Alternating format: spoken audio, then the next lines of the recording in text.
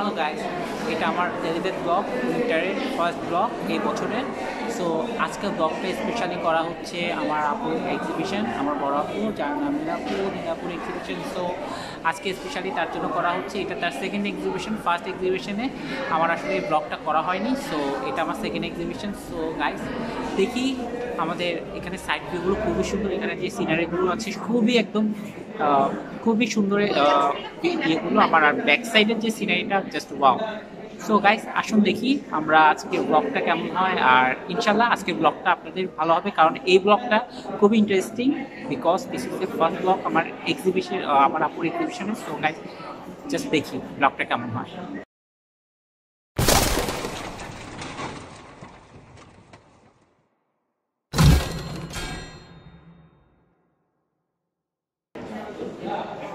Hello hello তো আহ, এটা আমার ফার্স্ট ব্লগ এবং ফার্স্ট ব্লগের মধ্যে মেবি তুমি আমার খুব ব্লগে কম ছিলা আমি জিরো ফার্স্ট কল তোমার জন্য ফার্স্ট ব্লগ তোমার কারণে আমার হচ্ছে তুমি আমার ভিডিওতে অনেক কম থাকো কারণ তুমি আমার ভিডিও পছন্দ করো না দ্যাটস ওয়াই لا لا لا لا لا هلا اجا الزعيم العظيم আচ্ছা যাই হোক গাইস আসুন আহ, তোমার এক্সিবিশনে তোমার সেকেন্ড এক্সিবিশন তো হাউ ডু ইউ ফিল কেমন লাগতেছে? আমার খুবই ভালো লাগছে যে আমার এক্সিবিশন হচ্ছে। এর আগে আমার এক্সিবিশন একটা হচ্ছে। ছোটবেলা থেকে আঁকতাম ছবি ছবি আঁকা শখ ছিল। ওইখান থেকেই অনেক বছর পরে এসে আবার স্টার্ট করলাম।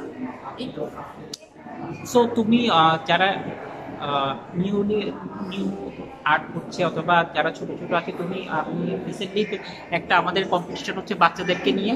এটা তোমার খুব অনলাইনে তুমি এটাতে অনেকই সারা দিচ্ছে সো এটা নিয়ে কিছু বলব এটা আসলে ছোট ছোট বাচ্চাদেরকে ইন্সপায়ার করার জন্য আমি ইস্যু করেছি।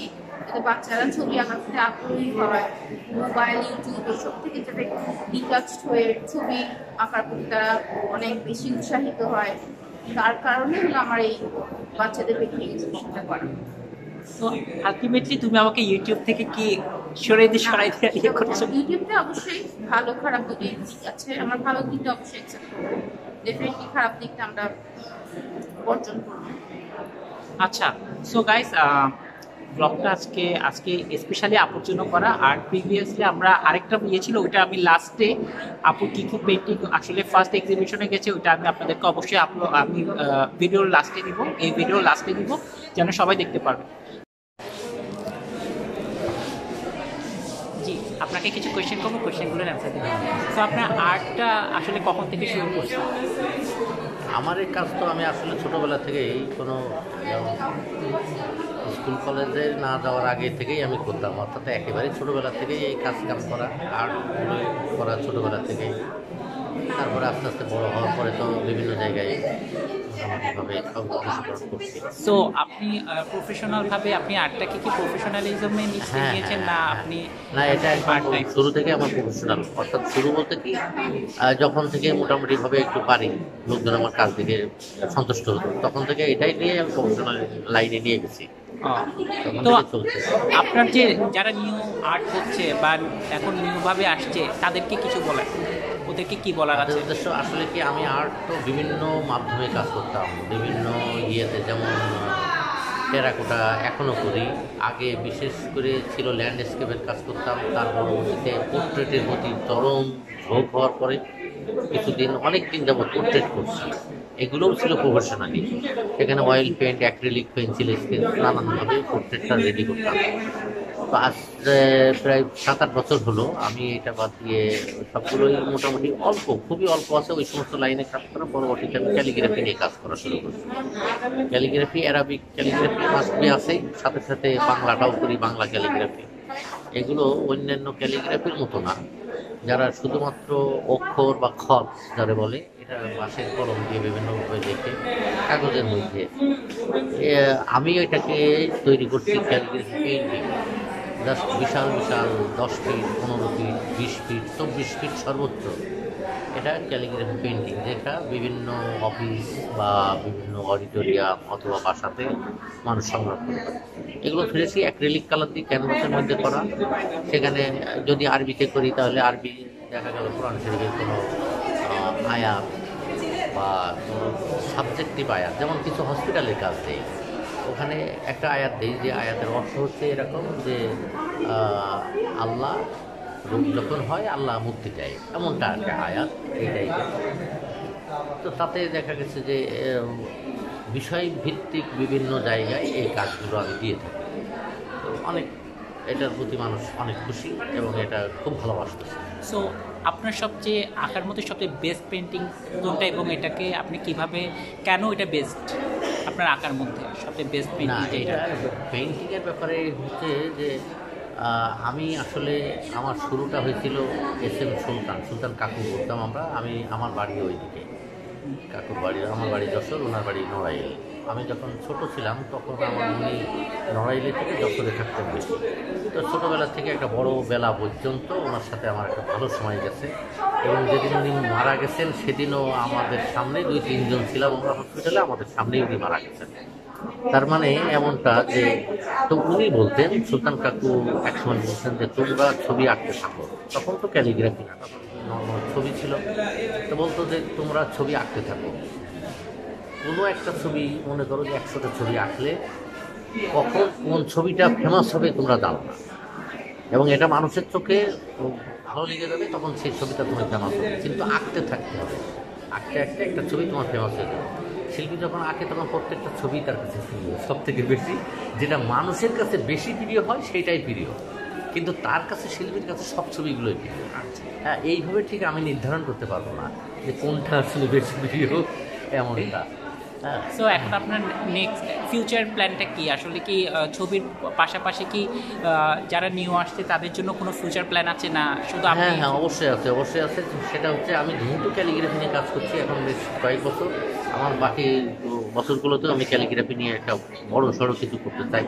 এর ভিতরে যেমন আমার এখন গত বছর মার্চ মাসের থেকে আঠারো সালের মার্চ মাস থেকে শুরু করছি ক্যালিগ্রাফি পেন্টিং করা। এই ক্যালিগ্রাফি পেন্টিং আমি প্রথমে তিরিশ, পঁয়ত্রিশ জন স্টুডেন্ট নিয়ে শুরু করছি। আমি মাঝে মাঝে দুই মাস, তিন মাস পর পর একটা করে ওয়ার্কশপ করি। আজও আমার একটা ওয়ার্কশপ চলতেছে, যেটা আগামীকাল শেষ এখন আমার ওখানকার স্টুডেন্ট হচ্ছে পঁচানব্বই জন। তো আমার এর ভিতরে এটা হচ্ছে সপ্তম ক্যালিগ্রাফি পেন্টিং কর্মশালা। তো এই গত মার্চের থেকে এই পর্যন্ত দেড় বছর, পৌনে দু বছর। দু বছর এখনও হয়নি। দুই বছরের ভিতরে সাতটা ওয়ার্কশপ প্রায় চারশো স্টুডেন্ট এ পর্যন্ত আমার কাছ থেকে প্রশিক্ষণ হচ্ছে আমি চাইব যে এটা এরা সবাই করুক। সারা পৃথিবীতে অন্যান্য যাদেরকে ভাষা, যাদের ভাষাটা খুব বেশি প্রিয়, তার অবদান যাদের আছে, যেমন চাইনা ভাষাওয়ালাদের, আরবি ভাষাওয়ালাদের, উর্দু ভাষা, ফার্সি ভাষা আর সবার ভাষা থেকে আমাদের বাংলা ভাষা সম্পূর্ণ এক্সেপশনাল কারণ এখানে কোনো পৃথিবীর কোনো লোকে ভাষার জন্য জীবন দেয় না। আমাদের এখানে কিন্তু জীবন দিয়েছে ভাষার জন্য। আমরা সে বাংলা ভাষা নিয়েও আমরা ক্যালিগ্রাফি করতেছি। এটা পেন্টিংয়ের আদলে নিতেছি, কখনো কখনো কখনো কখনো টাইপোগ্রাফির আদলে নিতেছি।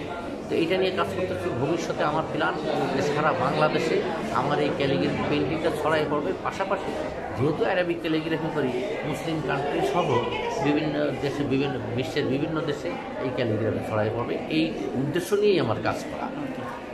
ওকে থ্যাংক ইউ ভাইয়া। আপনাকে আমাদের আমার এই ব্লগটাতে সুন্দর একটা কারণ এটা আমার হচ্ছে ফার্স্ট ব্লগ হ্যাঁ। উইন্টারের আর এক্সিবিশনের ফার্স্ট ব্লগ সো এটার জন্য অসংখ্য ধন্যবাদ। Okay thank you very much ভাইয়া প্রচুর ওয়ান্ডারফুল একটা পার্সন খুবই সুন্দরভাবে, খুবই ফ্রেন্ডলি তো আজকে অফিস থেকে আসা। সো আমি মনে করি যে এটা এটা প্রত্যেকটা মানুষের তাদের নিজস্ব কিছু ভাষা আছে, কিছু, নিজস্ব মনের ভাষা তারা কেউ কেউ আর্ট করে বলে, কেউ কেউ গানের ভাষায় বলে, কেউ কেউ তার কবিতার ভাষায় তার মনেরগুলো ভাবগুলো প্রকাশ করে। ইটস সো ওয়ান্ডারফুল যে এক একটা মানুষ এক একভাবে তাদের মনের মনের যে মনের যে কথাগুলো, মনের যে ভাষাগুলো, তারা খুব সুন্দরভাবে তারা ছবির মাধ্যমে, কবিতার মাধ্যমে, আবার কেউ কেউ গানের মাধ্যমে প্রকাশ করে। আর ইয়েস আমি সবসময় একটা জিনিস খুব বিলিভ করি, যে আপনাদের ভিতরের মধ্যে আসলে স্পেশালিটি কি? এটা যদি বের করতে পারেন, ওটা খুব সুন্দরভাবে প্রকাশ হয় সবার সামনে। এই জিনিসটা খুবই ওয়ান্ডারফুল যে আমরা আমরা অনেকে অনেকভাবে আমরা সব কিছু আমাদের মনের ভাবগুলো প্রকাশ করি। যাই হোক গাইস ইটস সো ওয়ান্ডারফুল যে এখানে প্রত্যেকটা ছবি এত বেশি ভালো। এত বেশি সুন্দর, আমি আসলে খুবই মুগ্ধ। আর এই ফার্স্ট টাইম আসলে খুবই ভালো ফিল হচ্ছে যে একটা ইউনিক একটা কনসেপ্ট নিয়ে আমি ব্লগটা করছি। সো গাইস লাস্টে দিক ইউনিটটা ইনশাল্লাহ খুব ভালো হবে। দেখি দেখছি কি হয়। আরও কয়েকটা পিকচার আছে, এগুলো একটু এগুলো আমরা দেখি। আপনারা খুবই আমার মতে আপনারা খুবই উৎসাহিত হবেন। যারা নিউ নিউ হচ্ছে আর্ট করছে তারা খুব উৎসাহিত হবেন এইসব পিকচার দেখে ইনশাল্লাহ আমরা দেখে আসি।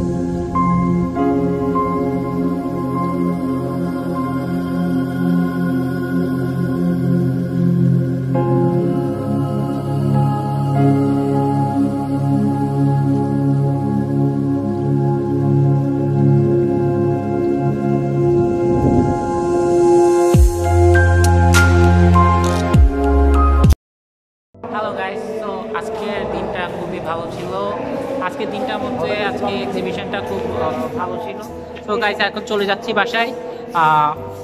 ইনশাল্লাহ নেক্সট ব্লগ খুব তাড়াতাড়ি আসবে। সাবস্ক্রাইব করবেন শেয়ার করবেন।